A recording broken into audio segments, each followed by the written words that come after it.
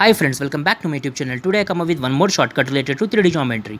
Let's see the question first. The image of the circle x square plus y square is equal to 25 in the line x plus y is equal to plus or minus 5 is given by dash. In order to solve this problem in MSET and IIT, we have one shortcut. The shortcut is the image of the line x square plus y square equal to r square in the line x plus y equal to plus or minus r is given by x minus y uh, x minus of plus r whole square plus of y minus plus r whole square equal to r square okay? So here my task is to find r square value. The r square value upon comparing these two i am getting r square value as 25 okay?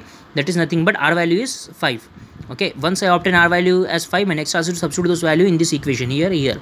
So upon substituting those value i am getting answer this okay? That is nothing but that is the image of the circle in the line x plus y equal to plus or minus 5 is nothing but x minus of plus 5 whole square y minus of plus 5 whole square to 25 that will be my answer. Hope you understand this video. If you understand this video and if you want me to make some more video of this kind then don't forget to like subscribe and share my youtube channel with your family friend and colleague. I will come up with some more short of this kind. And if you don't want to miss any such videos then don't forget to press the notification button and bell icon button. Thank you